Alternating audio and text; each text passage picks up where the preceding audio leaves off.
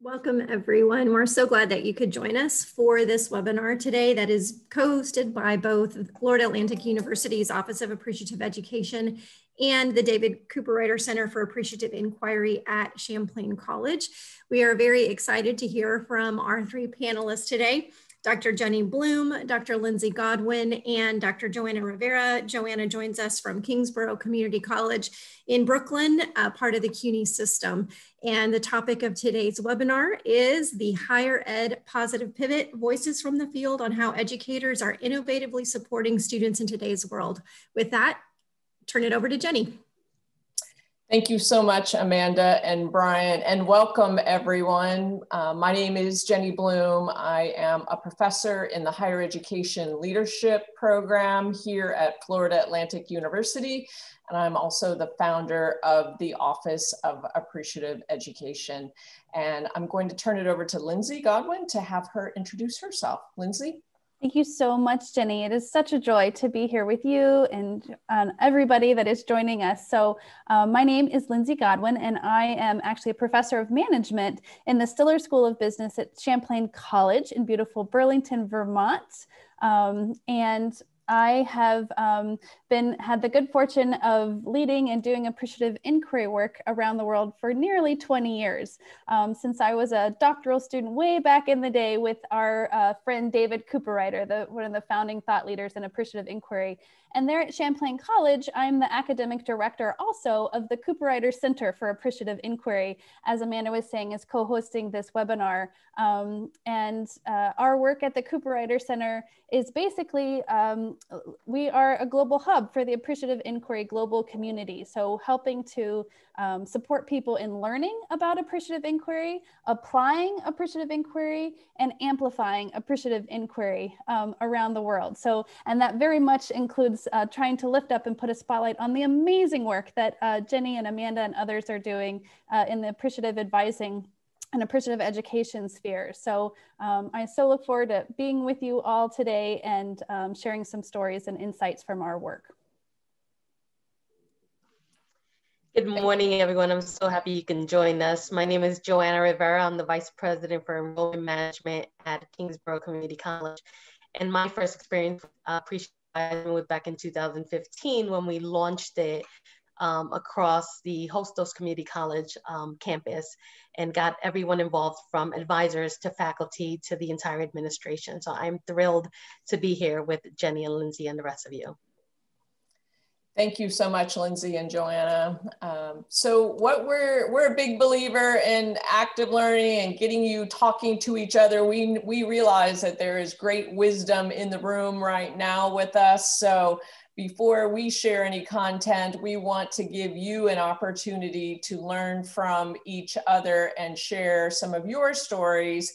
So Brian, in a moment, is going to be opening up some breakout rooms. And here's what I'd like you to do. He's also um, has just put in a, a Google Doc uh, link. So if you could click on that before you go into your breakout room, the question that we'd like for you to ask each other in that breakout room is what is a positive pivot that you've made during the pandemic that you intend to continue doing even after the pandemic has ended? So uh, if you could, when you go into your breakout rooms, take a moment to introduce yourselves.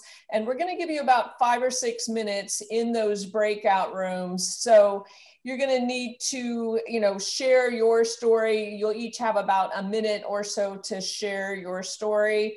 And then we'll give you the one minute warning when we're going to teleport you back here into the main room. So, with that, Brian, can you please open up the breakout rooms and we will have you all get an opportunity to, to meet some of the other people in the room.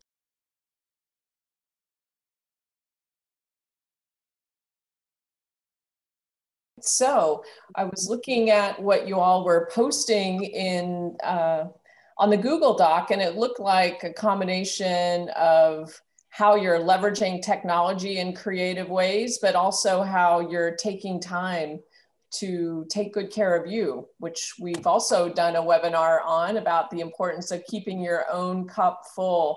So there are, you know, opportunities in obstacles. And so what I'm going to do next is I want to show you just, this is about a five minute clip from a, a gentleman named DeWitt Jones who was a photographer for National Geographic. And this is part of a TEDx talk that uh, I think is very applicable in our world today.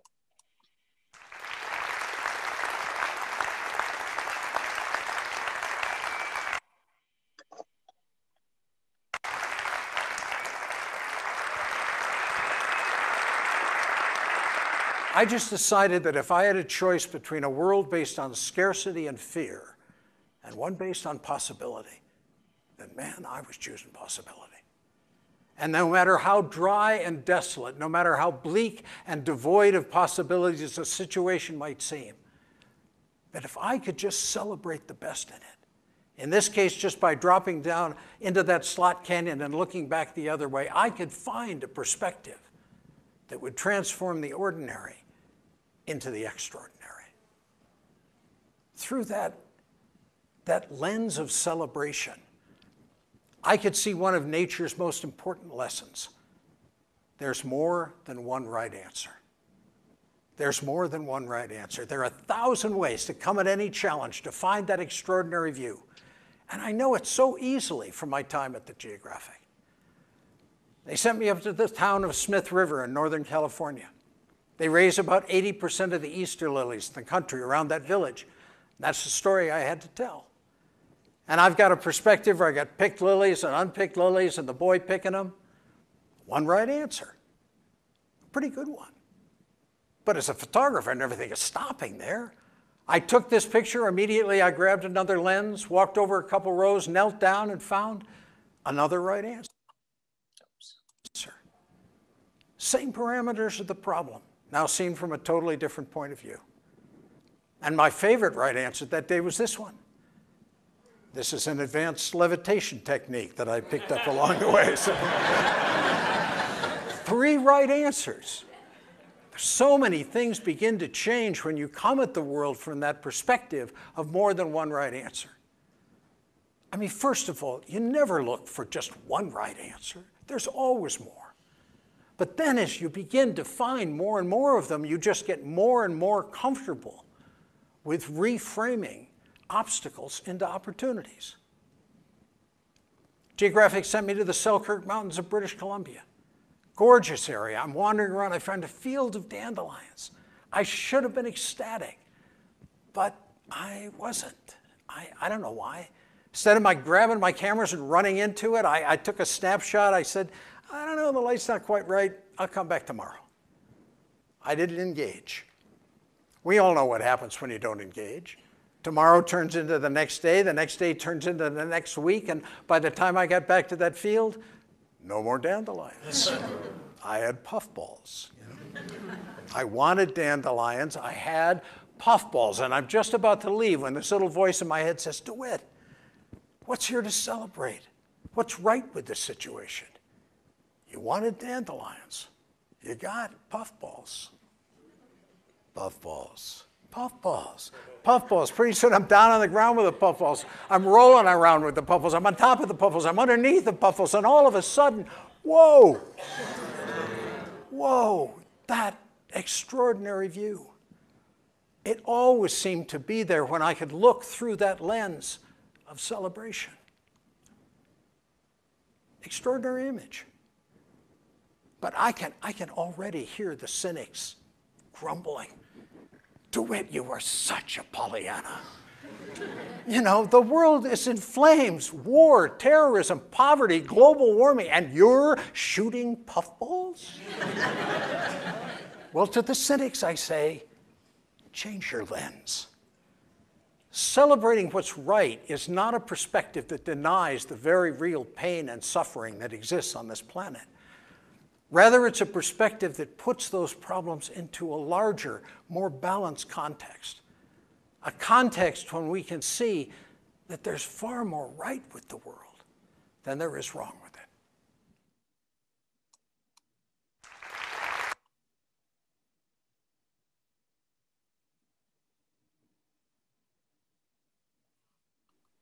So um, I know some of you may have heard DeWitt's and his um, full message before, but I see in the text chat coming that yes, DeWitt Jones's message today is is very timely and very inspirational. And um, at its heart, um, as Jenny and I were, were talking with Joanna um, as we were preparing this, we realized that DeWitt's message really is a beautiful summary for what appreciative inquiry really is. We know a lot of you on here, we have a variety of people that have been applying appreciative inquiry, whether you're coming from the uh, appreciative advising work uh, and community that you're doing. Some of you on here are just from the broader appreciative inquiry community, and some of you may be brand new to all of this and are just curious about um, this, this idea of how do we positively pivot in higher education.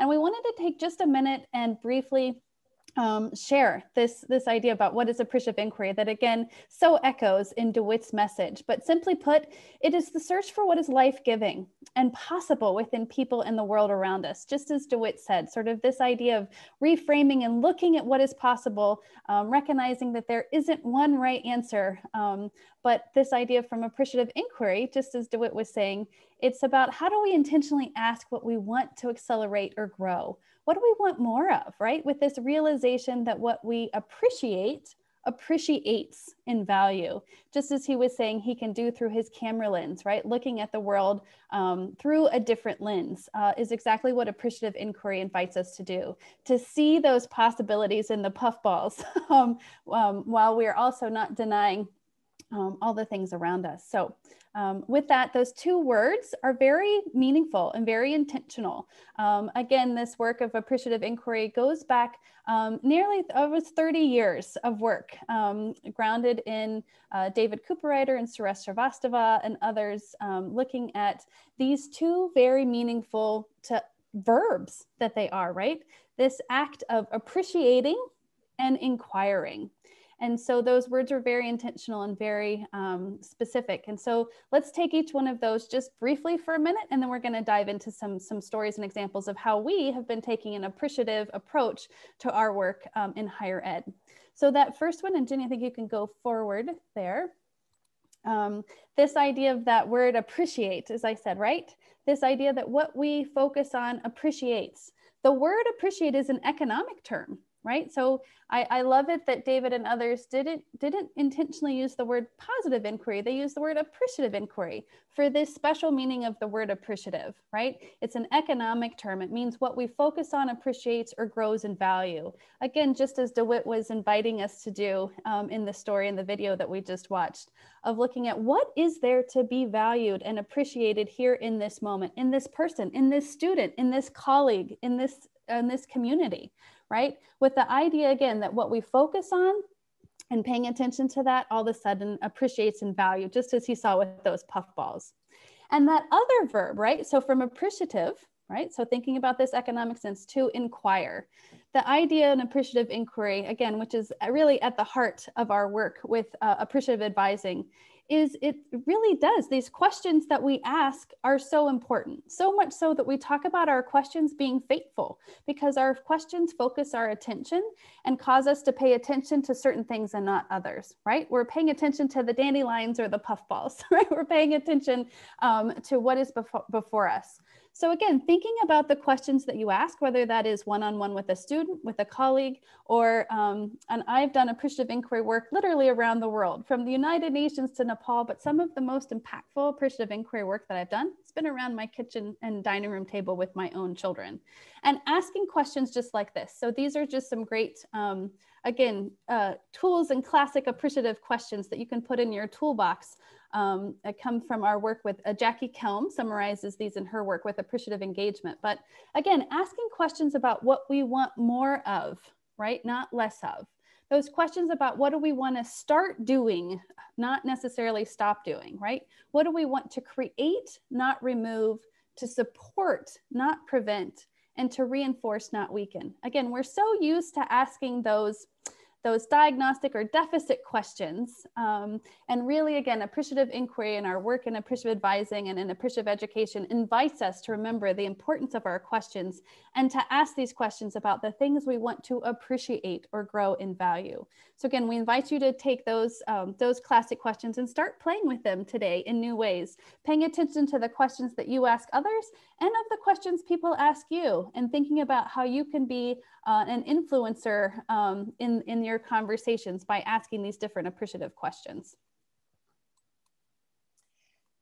Thank you, Lindsay. And now I want to transition to talk about uh, further about this, this power of questions. And as we've embarked upon this great adventure during the pandemic, uh, I thought it might be helpful to go back to a, a a, clip from a webinar that Michael Bjorkia at Utah State University did for us a, a little bit earlier in, in the pandemic. And I'm gonna just play this because it, it reminds us that the questions that we're asking really are fateful.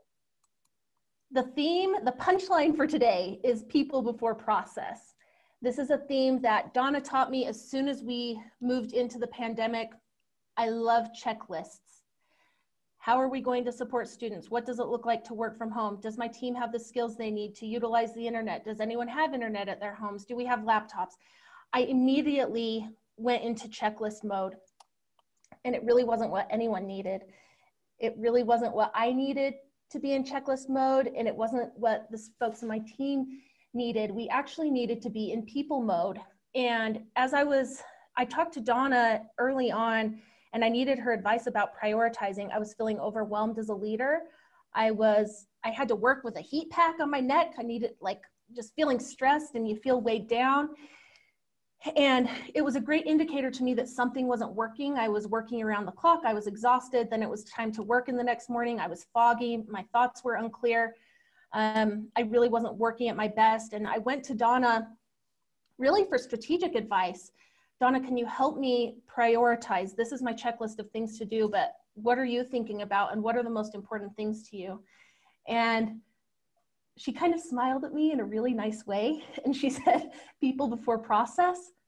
And I, it shocked me. Um, I realized that my checklist was incredibly important. It really was important. Do people have the internet? Do they have a laptop? Can people work from home? What are the frameworks? for remote work? How are we going to support students? The checklist, the checklist is really important. But the thing that's even more important than the checklist is the people.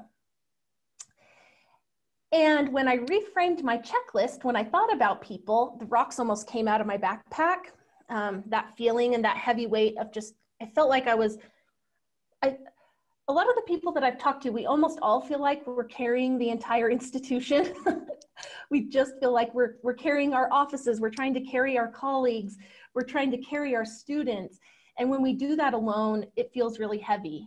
And when we put people before process, we actually share the responsibility for all of our success, for the success of our students, for the success of our office, for the success of our institution.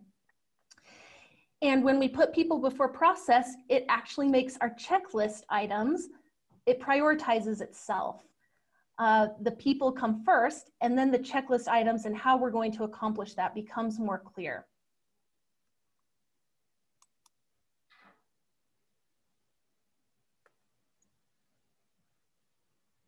So I think that's a great segue. So right before the governor put New York on pause, um, the president brought us all together and started the conversation about how are we going to connect our new students from the campus to a campus they've never been to. And so our mantra became, how do you bring Muhammad to the, if you can't bring Muhammad to the mountain, how do we bring the mountain to Muhammad? And so in the spirit of the Publishers Clearinghouse, we sat around the table and we came up with the President's Welcome Wagon. So between the months of June to September, the president visited new students being admitted to the college at their homes and gave them what we tagged swag bags. They had cups, they had t-shirts, they had every little tchotchke they would have possibly gotten during either orientation or welcome week. So we're just gonna play the first video that we taped of the first students that she visited on her welcome wagon. Go ahead, Jenny. It's not Friday, it's Fly Day because we're giving away swag bags to three incoming KCC students. The welcome wagon is on its way.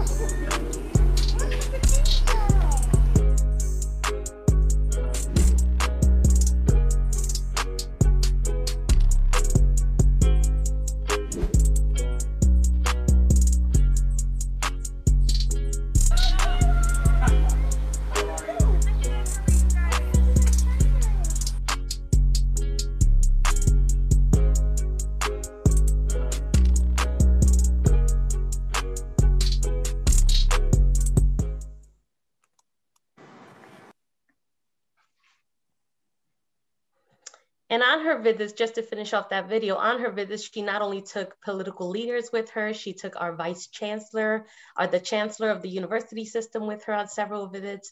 So it was just a wonderful new, fresh breath air um, to bring to our students and connect them to the campus. And she's continuing to do that as the spring semester for new students approaches. So what we learned building the communication ladder. So it felt like we were trying to climb a ladder and build it at the same time. Very soon after we went on pause, we tried to think about how are we going to have faculty and students and staff in the community reach out to us, right? We had not been on remote work at this magnitude ever.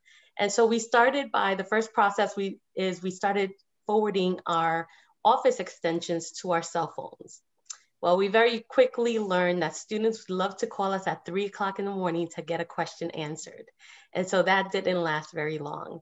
And we learned about acquiring Google numbers to mask our cell phones so that we can take calls during appropriate times to not and get actually get some rest during the day while we're trying to do everything else.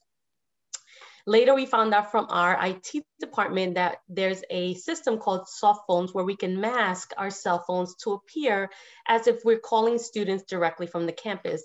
Many times students weren't picking up the calls because they were seeing a very strange number they've never seen before. So being able to mask those phone numbers as our campus number allowed us to be able to communicate with the students and get feedback very quickly. Later, we progressed to our chat feature, which many of you are aware of. If you call a bank or you call a place of business, you have a chat feature on the right-hand corner where you can click on that and get somebody to respond to an inquiry rather quickly. And now we are at the point where the university has acquired Zoom licenses for all of the staff and faculty at the campus. And so we created virtual front desk. If you're not familiar with virtual front desk, a student clicks on a Zoom link, there is someone there to greet them immediately. We have breakout rooms where we have specialists who can take care of whatever issue the student needs to take care of. And we quickly check them in, take their information and move them over to a breakout room so that they can have their questions answered or process taken care of. Next slide. Okay, admissions, welcome week, orientation, and registration. We had to rethink all of that from scratch. We started with virtual tours, trying to take pictures of the campus so that people can and prospective students can see what the campus looked like. Rather than doing general open houses, although we do have general open houses, we strategized on having major specific open houses with chairs and faculty who can give very targeted information to students who are interested in those programs. We held very large Zoom sessions with breakout rooms, with consultants, with subject matter experts. We have our student life department conducting activities for students on a weekly basis in these very large sessions where we can do different activities via separate breakout rooms. Registration was our biggest challenge. How are we gonna bring in a brand new class of hundreds of thousands of students without them ever coming onto campus? And so we it we had a conversation earlier today when we were talking about it takes a village, and it certainly does take a village. We created a large Zoom account with about 75 staff members that had 50 different breakout rooms for advisors, registrar experts, financial aid experts, individuals ready to give permission for students who had any kind of trouble with their registration. To the student, it was an absolute seamless process. They clicked on a Zoom link, they got put into a main room and immediately went to see an advisor eh, who can advise them in their major or to take care of an issue prior to going to advisement. It was a huge undertaking, but again, I, I'm constantly surprised at the ingenuity of our staff and our faculty. Next slide. And finally, telehealth visits. We found out very early on that our students, our staff, and our faculty were struggling. They were undergoing stress, the uncertainty of what was happening. There were social and racial injustices. A lot of us didn't know how to handle all of this, coupled with the fear of the unknown about the pandemic. We didn't know if we were gonna be gone for a week, a month, or a year. And navigating several online platforms for not only online teaching for our faculty, but online learning for our students. And so we partnered very quickly with our mental health and counseling department to do telehealth visits, one-on-one visits where you can be in a safe space and just talk out the anxiety or stress that you're having. It was, we did not get a lot of traffic when we started it, but now I can tell you that we get over 85 requests a week for individuals wanting to talk to us and just talk out what does the future look like and how can we help them navigate what's to come. I'm gonna turn it over now to Lindsay. Thank you. Um, yeah, building on that, um, the I love the the stories of sort of like at the system level, right? All of the amazing things that you all did to pivot to support students. Um, and they're going forward, Jenny, on the next slide is sort of this guiding question that I've heard in your work, uh, Joanna, and, and it's really the guiding question that for me as, a, as an educator in the classroom with my students has been my guiding appreciative question of what's in the best interest of our students, right? As I know as educators, we hold this question in our hearts um, so, so much, but even more so, especially, John, as you're talking about now, like sort of the stress, the, the, the, um, just the the all of the things that that our students are juggling and holding right now of sort of not knowing what is happening in their world um, whether that's in their classroom sort of financially everything else. This question has been my guiding uh, appreciative question um, as i sort of want to share just a brief story sort of now looking at in the classroom some of the things that i've done to pivot. Again sort of building and echoing john what you were talking about sort of at that system level and then down now into my classroom. So um, again, I teach a variety. I teach undergrads, I teach our graduate students, but um, and I've seen, you know, in our at, at Champlain College, we have um, traditional four-year um, uh, you know, students uh, that have been primarily on campus, and now we've we've switched to this being a flex hybrid. So with classes both sort of some in person, some online, some mixed, um, and it is it is a challenge, right? It's a challenge for us as educators to be designing and juggling this. It is a challenge for our students um, to be juggling this. And so as I, as like many of you maybe have seen, right, as, as you were saying, John, is that we've seen students who are struggling uh, increasingly so, right? So mental well-being, health issues, um, and just sort of the stress of, of doing all of this. And so, um, uh, and I've increasingly seen, um, you know, students who are having um, challenges with turning things in on time, um, getting getting all of their deliverables in. And in fact, um, we've had a longstanding uh, policy in our program that late work, for example, is not accepted. Right, trying to pre prepare people to be, um, you know, professionals and sort of get them ready for the workplace. And so we've long had a policy, and I've had a policy of not accepting late work. Um, and I will admit I've, I've been rethinking that policy, obviously, like in the current times that we've had. And so, for example, I recently had a student who um, has been um, struggling to turn things in on time. I've, I've reached out to him several times. Again, I, I, in the past, would reach out to students that I'm concerned about. But in this sort of guiding question of what's in the best interest of my students, I didn't just do a one and done reach out. So part of my pivoting has been ongoing checking in with students. So continual reaching out, even when I don't hear back from them, right? I used to sort of be like, well, I've reached out, I've done, you know, I let them know that I'm here and they will reach out. And so one of the things that I've been pivoting to do is to do sort of the continual um, sort of check in like i haven't heard from you. I'm concerned about you. Let's meet. Let's talk. How can we sort of get a plan in place to get you um, to be successful in our class? And so i'm so grateful that i um, continued to do this uh, proactive reach out with my students this semester because I am seeing it pay off um, in terms of, you know, it might take um, where one email in the past would get somebody's attention, um, you know, three or four emails in now. I've I had a student just this past week. Um, he had been um, not turning in things. He had been coming off and on to our virtual class. Um, and I, I finally, when he responded to me, again, my first um, response to him, and again, very intentional from this, again, what do I want more of, is I thanked him very intentionally, very um, in my respond to him, thank you for responding to me. Thank you. I'm so grateful to hear from you. Um, to sort of reinforce, right? We're trying to appreciate what we want more of. I'm trying to appreciate the fact that he responded and reached out to me. So, very intentionally starting my communications with him with gratitude and appreciation for him and his response to me. Again, might not have been what I would have done in um, and, and under different circumstances, but my after sort of moving from a place of of um, showing him intentional appreciation for just the act of responding to me. Um, I didn't dive right into the, the content of, okay, like, how are we going to talk about this? I really started from, again, what's in the best interest of our students? The best interest in this student right now is how is he doing, right? How is he doing in this moment of in time and space? And then we'll get to my class, right? We'll get to the class conversation. And so we, um, ended up having a, a, a, Zoom conversation with him and really having this conversation about how he's doing and learning that he is, um, you know, he had been struggling with with mental, um, his own sort of mental health.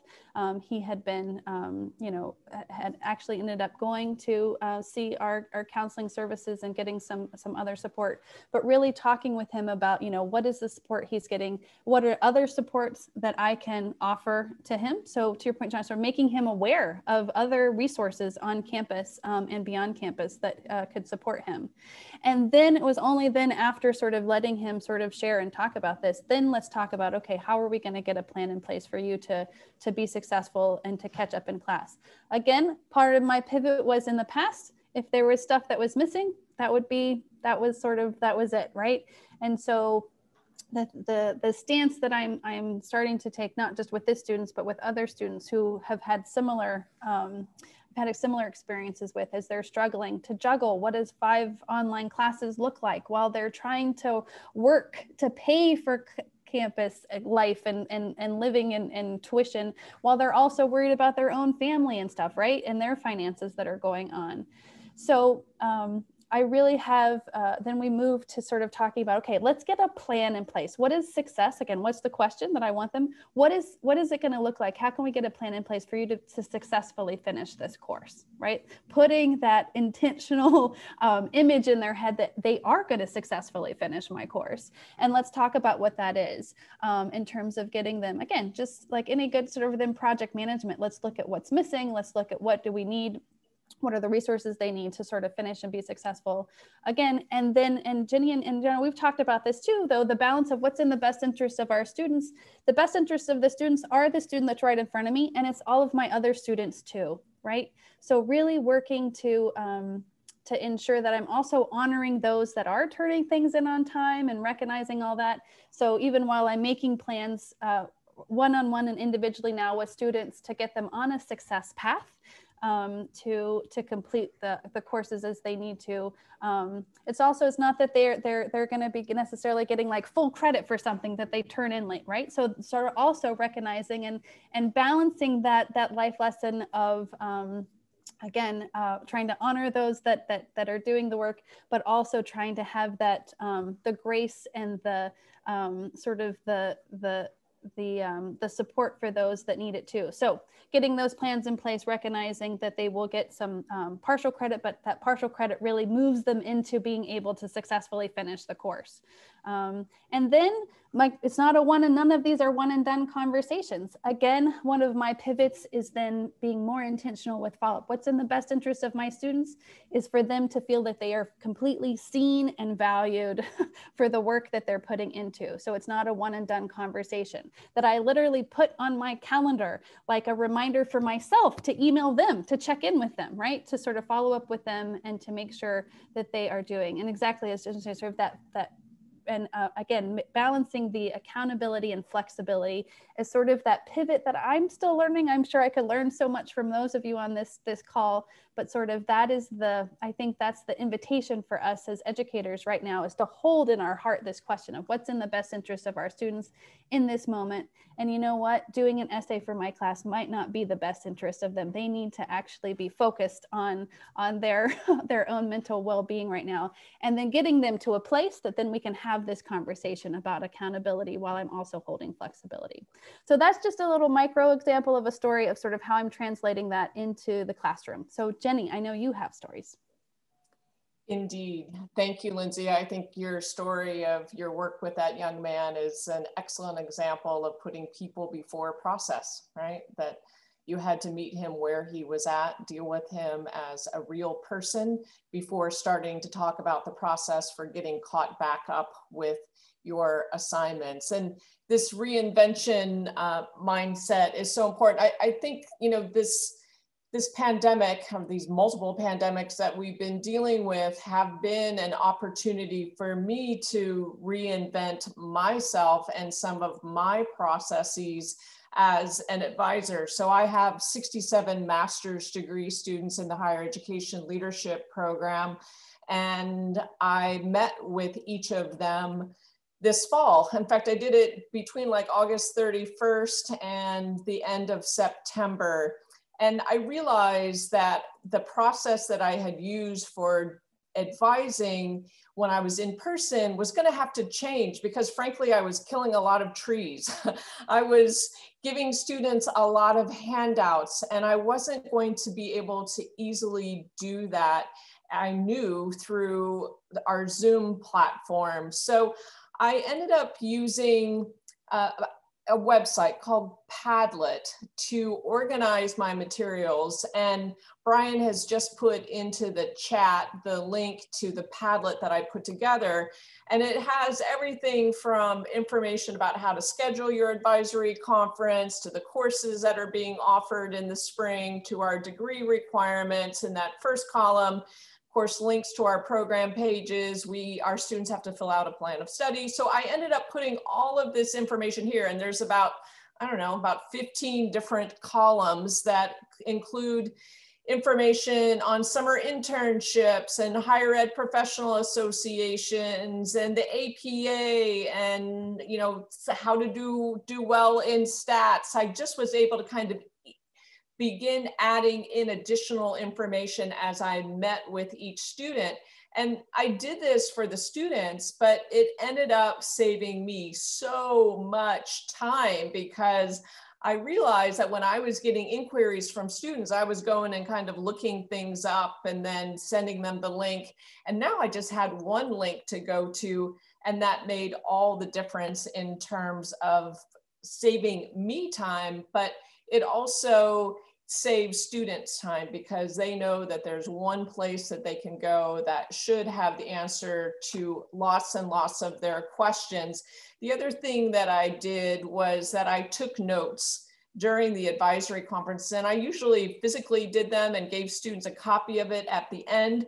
And instead what I did was I changed my advisory conference template to a fillable PDF.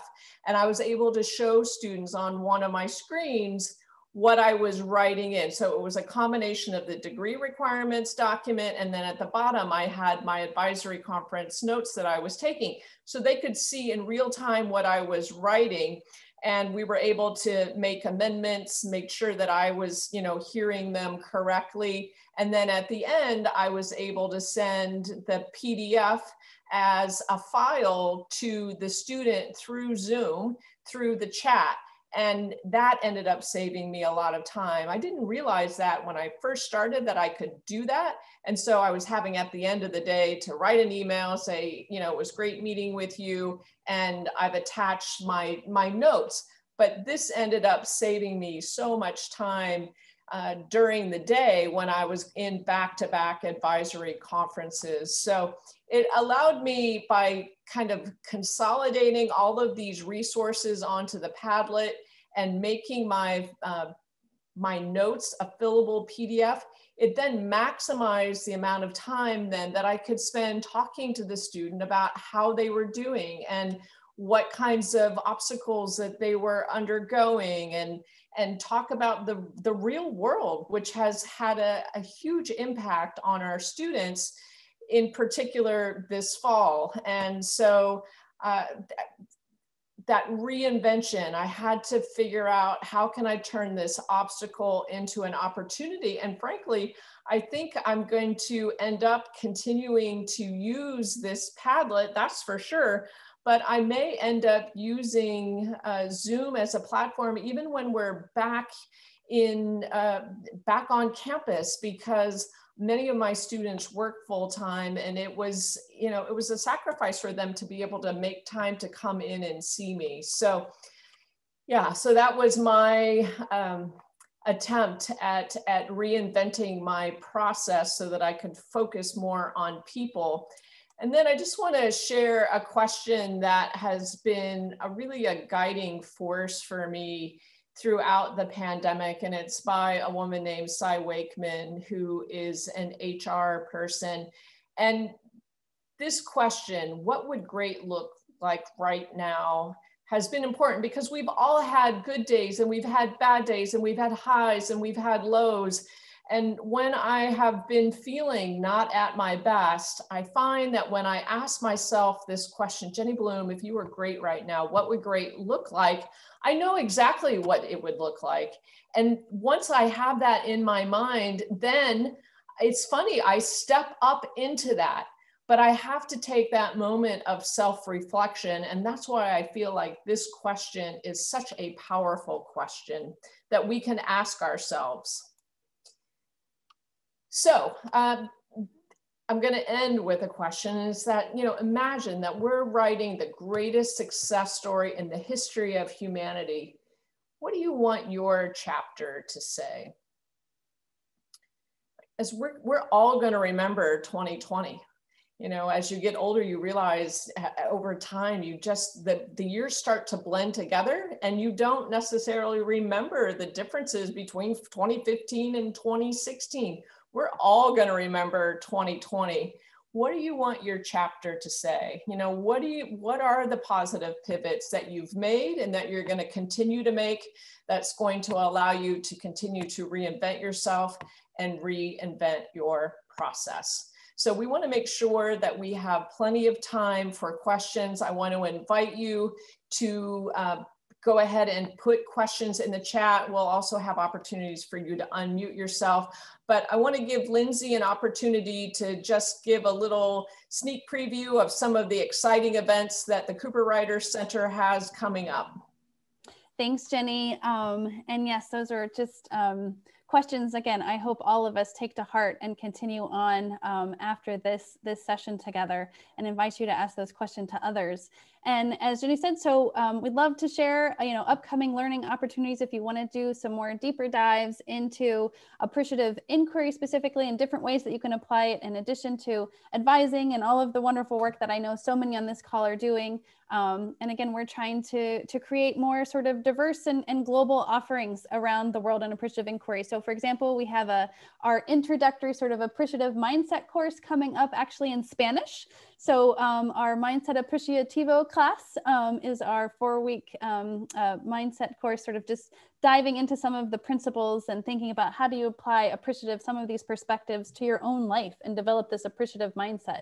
Um, conversations worth having, we have several courses on that, sort of looking at how do you take appreciative inquiry and really bring it into practically into the conversations that you're having and reframing those questions and conversations as we've been talking about. Um, the idea of driving the narrative storytelling, right? How do we become sort of these um, as a leader? It's a leadership competency to help create these visions for the future and invite people to sort of, you know, crafting these the stories that we tell, as Jenny was saying, become right, become our, our images for the future, drive us forward. So looking at that, and then we have a full thing on our conversations um, trainer certification. So that and lots of others. And um, yep, thank you, Brian. Put into the chat there a link to our upcoming calendar of events if you want to stay connected with this. And we other have free webinars and other opportunities too to connect um, with the global appreciative inquiry community. So we'd love to have you all continue to connect with us and each other. Thank you, Lindsay. They're doing really great work at Champlain College and the Cooperrider Center. Uh, just wanted to, to mention our FAU Office of Appreciative Education website. This has information about all of our upcoming events. And I did want to mention that we are taking registrations for our spring 2021 uh, online appreciative advising course, and we will also be offering our online appreciative administration course. And with that, I'm going to hand it over to Brian, who is going to uh, lead us in the Q&A session. So Brian? Thank you so much, Jenny. And I haven't seen many questions pop through, but if you think of any questions, please pop it through on the chat one question that we did receive um, Joanna, you were talking about that phone software program, and I wanted to confirm that is soft phones where it links your phone number to the office. So when you call a student, that student sees the office number opposed to a random uh, personal cell phone number. Is that correct? That is correct, yes. Awesome. And what has been your experience with that so far? the response rate from students has been phenomenal. Um, again, many of our calls prior to soft phones were going to voicemail, may or may not have been answered by students simply because they just did not recognize the number. Having the number come up as Kingsborough Community College is calling gets us to the student much quicker and gets them to respond to us much quicker. So it has been a, a life changer for us. Awesome. Thank you. And then this next question is directed to all three of the panels panelists, but it will be focusing in on Padlet. So just as a general processing question, Padlet versus Trello versus Google Keep. What, have any of y'all experienced the different platforms and which one do you care for most? Yeah, I'll, I'll start. I have used two of the three. I've used Padlet and I've used Trello. And what I really like about Padlet is that it has settings where it allows you to have people, uh, they can contribute like you all did on that gratitude wall. Brian, maybe you want to stick that back in the the, uh, mm-hmm. the chat again so you can set it up where people can can add things we have i'm using this you know for the gratitude wall. I'm using this in my classes. We use this to organize all of our material, materials for the Appreciative Advising Institute. And we also had kind of kudos walls set up for each of our participants at the Institute. And so people can add in things. And it's not just comments, they can add in uh, GIF files, they can add in uh, movies, they can add in web pages. And so it's just graphically more pleasing. Uh, and for example, some of my stu my PhD students are using it to organize their uh, chapter two, their literature review. So they're posting all of their articles under different categories on the Padlet. So I, am a, I'm a big fan of Padlet. I have used Trello. In fact, we did the appreciative administration course. We we combined uh, forces with a lot of people and so you're able to post things there too. So I, I think that works. And for me personally for my own to-do list i use uh, a, a, website called kanban flow. It's k-a-n-b-a-n flow f-l-o-w and i use that for my day-to-day to-do list. I don't know if if Lindsay or Joanna have anything they want to add in. No, I was just going to add, Jenny. I love your your your stories, and I know there's so many on here too. Of the like, it goes back to like, what's this? What's best for the students, and what's the student experience? So again, and it's not just about translating. Like, this is what we did in person, and so this is what we're. It's like really looking at what are we trying to do here? What are we trying to accomplish here? And what's the right tool for that? And so whether that is you know we've played with Jamboards you know there's all kinds of different you know whiteboard things and stuff. And so it really is as as as i know educators on here know it's it's always less about the tool and it's like what is it that we're trying to do? And then what's the right because there'll be a there'll be a new tool tomorrow right? And so it's that getting the clarity of what is the experience? What is it again what's in the best interest of supporting you know, interpersonally and the learning needs of my students. And Jenny, I love your example of like how Padlet you've been able to do that. And um, and I'm sure that there's there's lots of other there's tools out there that yeah I've used different ones and so but it always comes back to what is the experience and what is it that I'm trying to accomplish um, and putting that people before process. Mm-hmm. Yes, it's that putting people before process that's really important, especially right now when we are all going through such difficult and challenging times. I want to be conscious of the time and that it is two o'clock Eastern time. So we are going to start to close this up, but I'm going to put the Office of Appreciative Education email in the chat. And if at any point you have questions, do not hesitate to email us. We will make this uh, session avail available on our website at www.fau.edu forward slash OAE. It will take about 48 hours to get that posted. But once it's posted, we will identify to all of y'all or to all of you that it has been posted. So again, I want to say thank you to our panelists. Y'all have been amazing. And then thank you to all of you who have joined us today, taking time out to really put that stu- that people before process and that student experience before the checklist. So thank you.